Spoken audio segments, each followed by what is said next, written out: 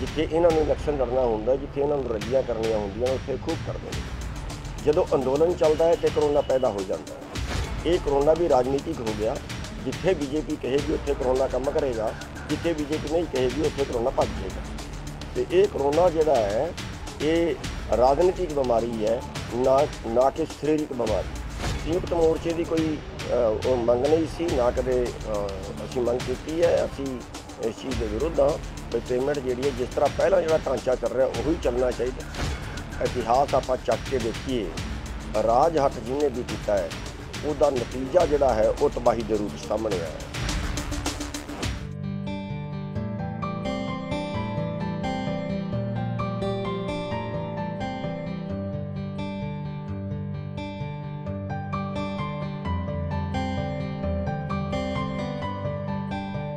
ਅਸੀਂ ਬਟਾਲੇ ਇੱਕ ਮਹਾਪੰਚਾਇਤ ਹੈ ਉੱਥੇ ਆਏ ਸੀ ਤੇ ਫਿਰ ਸਾਡਾ ਜਿਹੜਾ ਸਭ ਤੋਂ ਵੱਡਾ ਧਾਰਮਿਕ ਸਥਾਨ ਪਵਿੱਤਰ ਸਥਾਨ ਹਰਿਮੰਦਰ ਸਾਹਿਬ ਹੈ ਉੱਥੇ।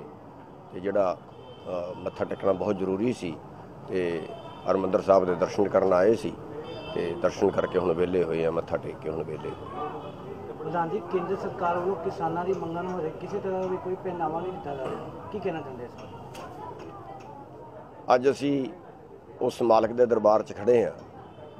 ਇਹ ਜਿਹੜਾ ਅੰਦੋਲਨ ਹੈ, ਅੱਜ ਜਿਸ ਸਤਰ ਤੇ ਪਹੁੰਚਿਆ ਹੋਇਆ ਹੈ, ਇਹ ਸਾਡੀ ਔਕਾਤ ਨਹੀਂ ਸੀ, ਬੰਦਿਆਂ ਦੀ ਔਕਾਤ ਨਹੀਂ ਸੀ। ਇਸ ਅੰਦੋਲਨ ਤੇ ਉਸ ਮਾਲਕ ਦੀ, ਉਸ ਪਰਵਰਦਿਗਾਰ ਦੀ ਵਿਸ਼ੇਸ਼ ਕਿਰਪਾ ਹੈ, ਵਿਸ਼ੇਸ਼ ਰਹਿਮਤ ਹੈ, ਜਿਹੜਾ ਅੱਜ 4.5 ਮਹੀਨੇ ਹੋ ਗਏ ਅੰਦੋਲਨ ਚੱਲ ਰਿਹਾ ਹੈ ਤੇ ਵੱਧ ਰਿਹਾ ਹੈ ਤੇ ਅੱਜ ਪੂਰੇ ਦੇਸ਼ ਦੇ ਵਿੱਚ ਫੈਲ ਗਿਆ ਹੈ ਤੇ ਬੀਜੇਪੀ ਦਾ ਜਾਂ ਸਰਕਾਰ ਦਾ ਕਹਿ ਲਿਓ, ਜਿਹੜਾ ਗ੍ਰਾਫ 5 ਮਹੀਨੇ 6 ਮਹੀਨੇ ਪਹਿਲਾਂ ਸੀ, ਅੱਜ ਉਹ ਦੇਸ਼ ਦੇ ਵਿੱਚ ਨਹੀਂ ਬਚੇ। ਅੱਜ ਉਹ ਦੇਸ਼ ਦਾ, ਦੇਸ਼ ਦੇ ਵਿੱਚ ਬੀਜੇਪੀ ਦਾ ਗ੍ਰਾਫ ਡਾਊਨ ਆ ਗਿਆ ਹੈ ਤੇ ਪਰ ਰਾਜ ਹੱਟ ਹੈ। ਇਹ ਰਾਜ ਹੱਟ ਜਿਹੜਾ ਹੈ, ਇਤਿਹਾਸ ਆਪਾਂ ਚੱਕ ਕੇ ਦੇਖੀਏ ਰਾਜ ਹੱਟ ਜਿਹਨੇ ਵੀ ਕੀਤਾ ਹੈ, ਉਹਦਾ ਨਤੀਜਾ ਜਿਹੜਾ ਹੈ, ਉਹ ਤਬਾਹੀ ਦੇ ਰੂਪ 'ਚ ਸਾਹਮਣੇ ਆਇਆ ਹੈ। ਉਹਨੇ ਆਪਣਾ ਵੀ ਨੁਕਸਾਨ ਕੀਤਾ, ਉਹਨੇ ਦੇਸ਼ ਦਾ ਵੀ ਨੁਕਸਾਨ ਕੀਤਾ ਹੈ।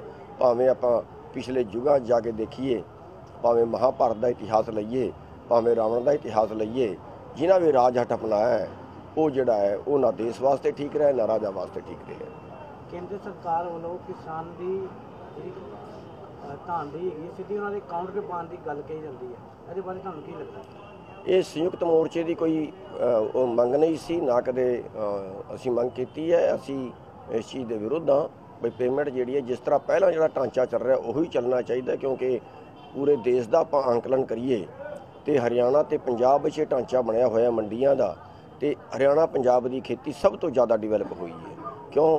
ਕਿਉਂਕਿ ਇੱਥੇ ਮੰਡੀ ਦਾ ਸਿਸਟਮ ਹੈ, ਇੱਥੇ ਸਾਨੂੰ ਖੇਤ ਦੀ ਖੁਰਾਕ ਟਾਈਮ ਨਾਲ ਮਿਲ ਜਾਂਦੀ ਹੈ, ਇੱਥੇ ਜਿਨ ਫਸਲਾਂ ਦਾ ਐਮਐਸਪੀ ਨਹੀਂ ਮਿਲਦਾ, ਉਹਨਾਂ ਦਾ ਉੱਚਤਮ ਰੇਟ ਬੋਲੀ ਦੇ ਮਾਧਿਅਮ ਤੋਂ ਮਿਲ ਜਾਂਦਾ ਹੈ। ਜੇ ਇਹ ਜਿਹੜਾ ਡਾਇਰੈਕਟ ਪੇਮੈਂਟ ਕੀਤੀ ਗਈ ਹੈ, ਇਹ ਮੰਡੀ ਨੂੰ ਤੋੜਨ ਦਾ ਪਹਿਲਾ ਸਟੈਪ ਹੈ, ਤੇ ਦੂਜਾ ਇਸ ਵਾਰੀ ਉਹਨਾਂ ਨੇ ਹਰਿਆਣੇ 'ਚ ਸ਼ੁਰੂ ਕਰਤਾ ਵੀ ਜਿਹੜੇ ਅਡਾਨੀ ਦੇ ਸਾਈਲਰਸ ਨੇ ਜਿਹੜੇ ਲੋਹੇ ਦੇ ਗੋਦਾਮ ਉਹਨਾਂ ਨੇ ਬਣਾਏ ਨੇ ਸਿੱਧੀ ਉਹਨਾਂ ਦੇ ਵਿੱਚ ਚਲੇ ਜਾਓ ਬਿਨਾ ਆੜਤ ਤੋਂ ਬਿਨਾ ਮੰਡੀ ਤੋਂ। ਉਹ ਸਿਸਟਮ ਜਿੱਥੇ ਜਿੱਥੇ ਇਹਨਾਂ ਦੇ ਗੋਦਾਮ ਬਣ ਗਏ ਨੇ ਉਹ ਸ਼ੁਰੂ ਹੋ ਗਿਆ ਹੈ। ਤੇ ਇਹ ਜਿਹੜੇ ਨਵੇਂ ਕਾਨੂੰਨ ਬਣਾਏ ਨੇ ਉਹਨਾਂ ਨੂੰ ਲਾਗੂ ਕਰਨ ਦਾ ਹੀ ਪਹਿਲਾ ਸਟੈਪ ਹੈ। ਕੇਂਦਰ ਸਰਕਾਰ ਇਲਜ਼ਾਮ ਲਗਾ ਰਹੀ ਹੈ ਕਿ ਕਿਸਾਨ ਜਥੇਬੰਦੀ ਕਰੋਨਾ ਨੂੰ ਵਧਾਵਾ ਦੇ ਰਹੀ ਹੈ।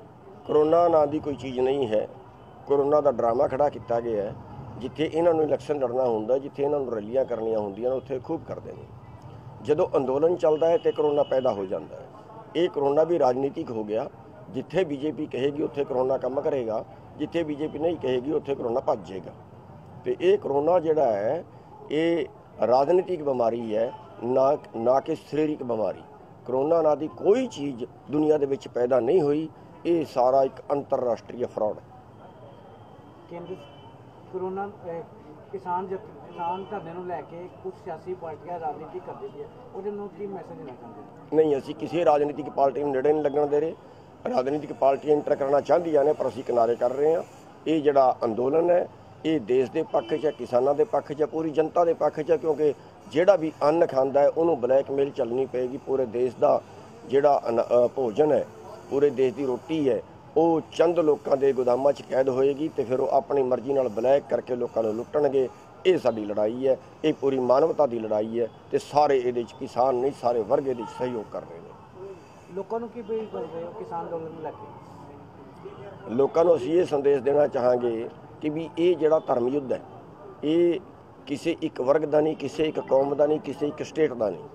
ਇਹ ਧਰਮ ਯੁੱਧ ਹੈ ਧਰਮ ਯੁੱਧ ਮਾਨਵਤਾ ਵਾਸਤੇ ਹੈ ਜਿਹੜਾ ਭੋਜਨ ਹੈ ਉਹ ਮਾਲਕ ਸਭ ਵਾਸਤੇ ਪੈਦਾ ਕਰਤਾ ਹੈ ਤੇ ਜੇ ਉਸ ਭੋਜਨ ਨੂੰ ਚੰਦ ਲੋਕ ਆਪਣੇ ਗੋਦਾਮਾਂ ਦੇ ਵਿੱਚ ਕੈਦ ਕਰਨਗੇ, ਇਹ ਪ੍ਰਕਿਰਤੀ ਦੇ ਵੀ ਵਿਰੁੱਧ ਹੈ।